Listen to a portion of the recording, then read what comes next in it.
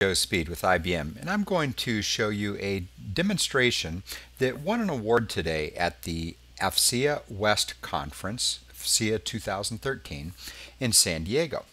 So the scenario that we were given is basically that there's a uh, dirty bomb attack on San Diego. So as we zoom in here, you'll see the vehicles driving around the city as well as the plume. And so we are subscribed to sensor data and then plotting out this plume. And based on the gradient, you can see the severity of that. And we can do some things with interacting with the vehicles, uh, notifying them, doing various things. Okay.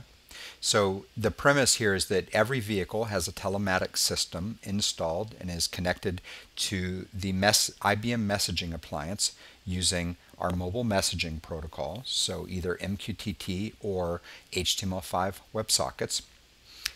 And that also in the area, the drivers have mobiles. So we'll be seeing a combination of vehicular telematics as well as mobile.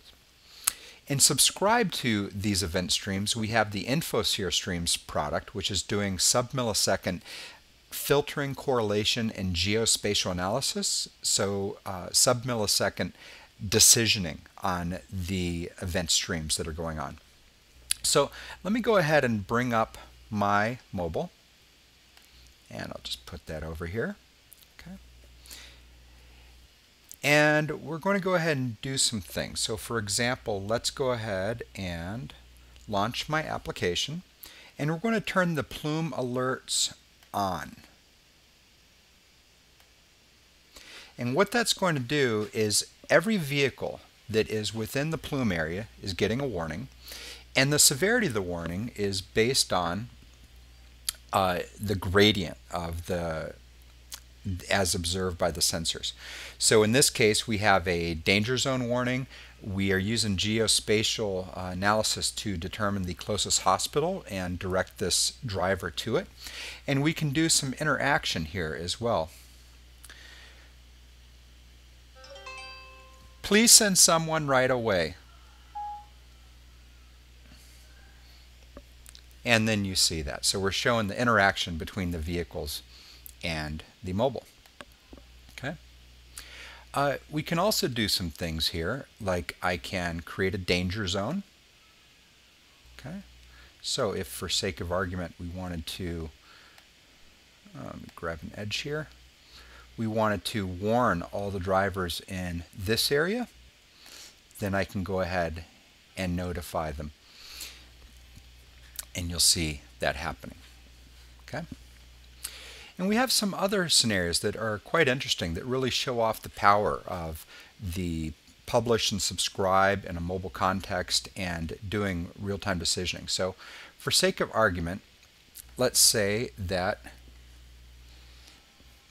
we have some vehicles here where one car has their wiper, another car has their wiper. If two cars have their wipers on and they're in close proximity, then we assert that it must be raining. And so we generate rain warnings for the other drivers. And then as those vehicles move away from one another, we'll go ahead and remove that assertion. However, one of the drivers chose to ignore the rain warnings, and as a result,